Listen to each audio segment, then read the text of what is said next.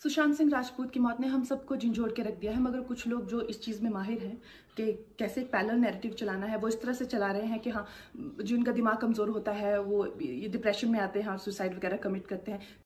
दूर का ढोल सुहावन लागे। दोस्तों, ये मुहावरा बहुत ही सटीक बैठता है बॉलीवुड के ऊपर, क्योंकि कहीं ना कहीं बॉलीवुड भले ही दूर से चमकता धमकता दिखाई देता हो, किंतु जितना आप करीब जाएँगे बॉलीवुड के, आपको पता चलता है यहाँ कितना सन्नाटा है। इसकी खामोशी में कितनी साजिशें रची जाती हैं एक एक्टर के प्रति, एक एक्ट्रेस के प्रति, या बॉलीवुड में काम करने वालों के प्रति। नमस्कार दोस्तों, मैं हूँ आरडी, आपका स्वागत करता हूँ मेरे चैनल पहली बातें पर। और दोस्तों, उम्मीद करता हूँ आपने चैनल सब्सक्राइब कर लिया होगा और नहीं किया है तो कर लीजिए, क्योंकि करते रहेंगे तो आपको मिलता रहेगा नोटिफिकेशन आज मैं बात कर रहा हूँ दोस्तों सुशांत सिंह राजपूत के खुदकुशी को लेकर, जिस पर कई लोगों ने ट्वीट किया है। दोस्तों, कहीं ना कहीं कई लोगों के जहन में सुशांत सिंह राजपूत की खुदकुशी ने सवाल छोड़ दिया है। आखिर क्यों? आपने ये खुदकुशी क्यों किया? एक व्यक्ति जो अपने फ़िल्मों के ज़रिए लोगों के बीच में एक मैसेज पास करता है। तुम्हारा रिज़ल्ट डिसाइड नहीं करता तुम लूजर हो कि नहीं?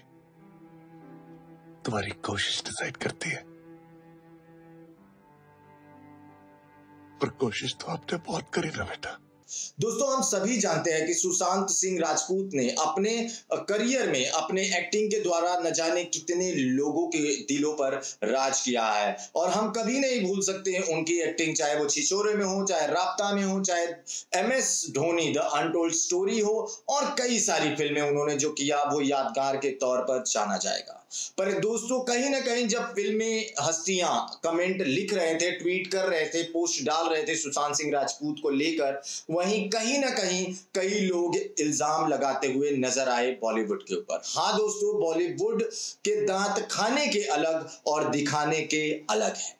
दोस्तों, वहीं शेखर कपूर ने बहुत ज़्यादा अपना दर्द व्यक्त किया और उन्होंने बोला, यार, एक बार मुझसे बात तो कर लिया होता, काश छह महीने, वो लास्ट के छह महीने काश मैं तुम्हारे साथ गुजार पाता। वहीं कहीं ना कहीं वरुण धवन ने लिखा कि मैं तुझसे यार बहुत इंस्पायर हुआ था। कहीं ना कहीं अनुपम खैर, जो उनके साथ धोनी में, धोनी मूवी में काम कर चुके हैं, उन्होंने व्यक्त किया। अमिताभ बच्चन ने तो इतना लंबा ट्वीट लिखा कि पढ़कर ऐसा लगता है कि यार मतलब ये बंदा कितना ज़्यादा लोगों के दिलों को भी जीत रहा था। वहीं कहीं ना कहीं शाहरुख खान ने भी ये शेयर किया कि कितना प्यार करता था सुशांत सिंह राजपूत शाहरुख खान को। लेकिन दोस्तों, उन्हीं के बीच में कुछ लोग हैं जैसे दीपिका पादुकोण। उन्होंने सीधा सीधा एक ट्वीट कर कर मीडिया को लताड़ दिया। वहीं कहीं ना कहीं कंगना रानावत इस बीच जो ज़्यादा ही ज़्यादा प्रोएक्टिव रहती है, बहुत ज़्यादा वोकल रहती है, एक बार फिर बॉलीवुड पर उन्होंने इल्ज़ाम लगाया। उनके कुछ लास्ट पोस्ट क्लियरली कह रहे हैं कि लोगों को बैक कर रहे हैं कि प्लीज़ मेरी फ़िल्म देखो। मेरा कोई गॉड फादर नहीं है, मुझे निकाल दिया जाएगा इस इंडस्ट्री से। अपने इंटरव्यू में वो ज़ाहिर कर रहे हैं कि मुझे क्यों नहीं ये इंडस्ट्री अपनाती है? I feel like a leftover तो क्या इसमें इस हादसे की कोई बुनियाद नहीं है?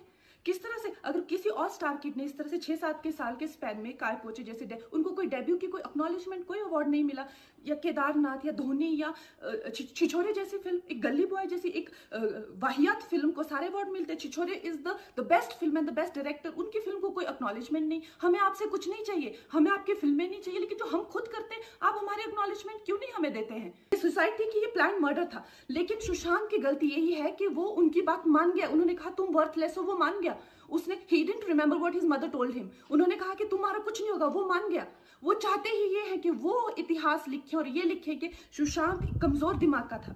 कहीं ना कहीं एक व्यक्ति जो अगर दुनिया को एक मैसेज देता है, वो सिखाता भी है, वो खुद पर भी लागू करता है। पर कुछ प्रेशर्स ऐसे होते हैं कि उसमें कुछ ना कुछ कर जाना ही पड़ता है। दोस्तों, हालाँकि ये राज है कि ये खुदकुशी आखिर क्यों हुई है? क्या ये खुद खुशी है या ये खुद से नहीं, किसी और की द्वारा करवाई गई खुदकुशी है। दोस्तों, उनके परिवार का कहना है कि यह आत्महत्या नहीं है। ज़रूर किसी ने उनकी हत्या का साजिश रचा है। वहीं कई लोगों का कहना है, ये पारिवारिक है, ये जो एक होता है इमोशनल कनेक्शन इमोशनल बॉन्ड उसके लिए परिवार ऐसा कह रहा है। लेकिन दोस्तों, ये आने वाले दिनों में ज़रूर खुल जाएगा कि आखिर प्रॉब्लम क्या है। लेकिन दोस्तों, कहीं ना कहीं हर बार जो बॉलीवुड पर एक इल्ज़ाम लगता रहता है कि बॉलीवुड ऑफकोर्स नेपोटिज्म में चलता है लोगों के पास पैसा पावर होने की वजह से ईगो भी ज़िंदा रहता है और वो अपने सामने किसी को खड़ा होने नहीं देते। ये जो इल्ज़ाम लगता रहता है बॉलीवुड पर, कहीं ना कहीं दोस्तों, ये सच नज़र आता है। हम दोस्तों, पहली बातें की तरफ़ से सच में बहुत तहे दिल से मैं उम्मीद करता हूँ, ईश्वर से प्रार्थना करता हूँ कि सुशांत सिंह राजपूत की आत्मा को शांति मिले। और दोस्तों, ये भी उम्मीद है कि अगर ये खुदकुशी है तो मैं रिक्वेस्ट करूँगा सभी लोगों से, जो उनको, उनके फैंस है, जो उनको सपोर्ट करते हैं please do not do this kind of things suicide is not a solution please talk please share your thought जो भी आपके मस्तिष्क में हो, आप दूसरों से अपनी बातें शेयर ज़रूर करें. Thank you